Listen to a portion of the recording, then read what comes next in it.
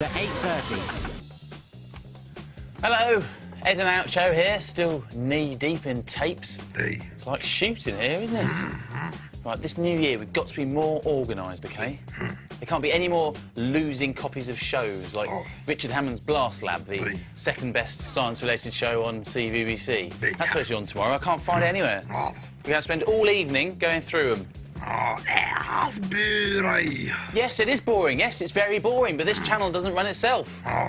And a good thing too. I mean, imagine if this channel was so understaffed and, and badly run that we could drop off air at any moment. Yeah, I, I- I could be halfway through saying "see you tomorrow at 3:25 for more."